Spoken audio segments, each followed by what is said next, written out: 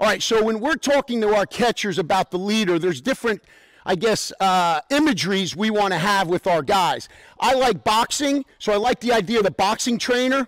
We work with these guys, and then we send them out, just like the boxer going out to fight.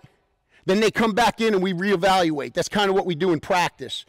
The caddy, that's more of the intellectual part. That's more of maybe the game planning, the strategy of what we're going to do, maybe more in the pitch calling area and then the thoroughbred horse and the jockey. How we're going to get our pitcher through the finish line.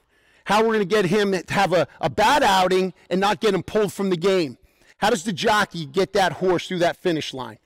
And then as far as other sports, um, we used to say quarterback. Well, quarterbacks are too soft today.